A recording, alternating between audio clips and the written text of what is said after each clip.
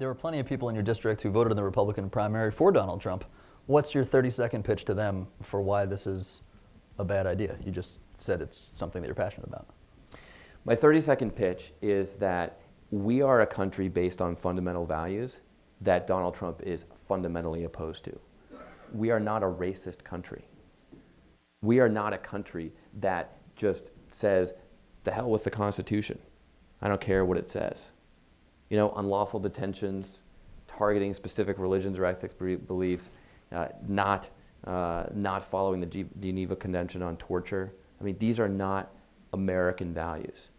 And so, as frustrated as you might be with the political scene, do not vote for someone who doesn't represent our values. And, you know, and, and I'll say something else. When you're in politics, one of the, one of those sort of like cardinal rules is you never say what I'm about to say. But people should read the history of how Germany elected Hitler. Read that history and just try to understand the analogies. And, uh, and I think that's important at this, at this time. I'm not saying that Donald Trump is necessarily Hitler, I'm not saying that. But you ought to understand how an unbelievably educated, advanced society can elect a demagogue and how bad it can get as a result. That's, that's, that's quite a thing to say, so I want you to elucidate, uh, sort of elaborate on that a little bit I'm more. already in trouble. Yeah. you, have opened, you've opened that door. I want to hear a little bit more about that. Walk, My, walk me through those historical. You know, there was an interesting piece, I, I read it, it, it cited a, a, New York Times article from the mid 1930s that was reporting on, on, on Hitler in Europe. And it said, you know, he's saying all these racist things, but everybody says he's not really a racist. Right. The article said that the insiders in Berlin say he's not really yeah, that's not. That's just a. That's just you know that's just what he's saying. He's trying to you know get elected or push the debate or whatever. I think we've got to be really concerned when someone, regardless of his statue, stature as a reality TV star or whatever else, says things that are fundamentally opposed to our values and to who we are as Americans. It's dangerous. But just to just to take it one more step forward, obviously for for several million reasons, the comparison to Hitler is a pretty inflammatory one. I'm curious if you think that if he were elected president, he would be capable of doing the same kinds of things that Adolf Hitler. I don't know him. I don't know that he would, but um, he certainly talked about carpet bombing the Middle East.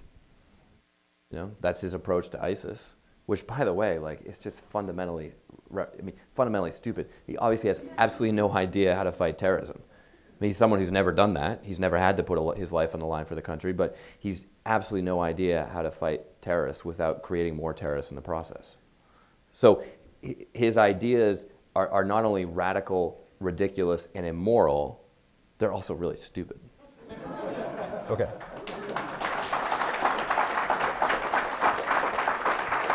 Final question on this, but so just to be clear on the comparison, you're saying, given what given what Donald Trump has said. I always try to co- prove the communications people wrong. Sorry. And, they're not, and they're not. They won't let me off the hook. Um, given what he said and your interpretation that he'd be willing to sort of abrogate some of the basic fundamental constitutional values. Interpretation. He said it out. I mean, he just talked about uh, torturing people this past weekend. That he would, yeah, okay. Um, that you see, that you see, that you see him potentially, if he were to become president, going down a less than democratic path that could lead to authoritarianism and war. I mean, essentially, his campaign is based on authoritarianism. And, and here's the other thing: is it's not based on substance right? It's not like he just has some really radical point of view and he's got a lot of, you know, you know, there's a lot of sort of intellectual thinkers who can back it up, and we may sort of intellectually disagree with it, but at least he's got a point of view. No, I mean his his position is just based on lies and things like saying, you know, what about our economy? We're going to make our economy great again. We're all going to get rich, and then you know, and, and, and uh, you just look at the stuff. There's no substance there. And this is a real problem in our debate. You know, um, back to the budget committee, you know, which is a great place for people who don't know how to do math. But um, we're on the budget committee and we're debating about uh, Obamacare. And I, one of my friends, a fellow freshman, is Gary Palmer from Alabama. And, and, and look, he, he's a very conservative Republican. He and I don't agree on, on, on many important issues. But he's a good man. And he's a gentleman and he's someone that I, that I fundamentally respect, even though we have important uh, differences and, and differences of opinion on many issues. Well, he gave a two minute impassioned speech against Obamacare. And he talked about how it's raising costs for small businesses and you know, we ought to have more private sector involvement in, in healthcare. And it was a good, thoughtful speech. I, I disagreed with it, but it was a good, thoughtful argument based on facts. The person who spoke after him started her speech by saying Obamacare raises costs and decreases access to health care.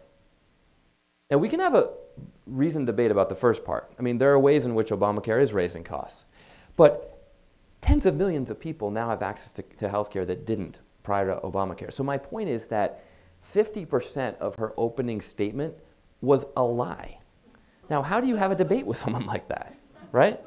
And as, as a politician, as someone who's coming into this with this sort of view that, you know what, I'm not just going to always tote the party line or use the party talking points. I'm just going to try to speak the truth, even when it's things that are tough to hear for people of my own party.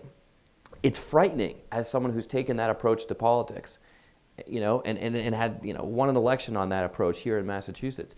It's frightening that, that someone like Donald Trump is doing so well when he just is speaking lies. What does that say to you about the electorate? Well, it's, it says to me that the electorate is, is so frustrated that they're willing to overlook the real substance and just take someone new. I think that's what's going on here. But, but it's frightening, and I think that it's um, you know, a, a, cause for concern. And it's, it's why I'm, um, every opportunity to get to vote for education spending, I do.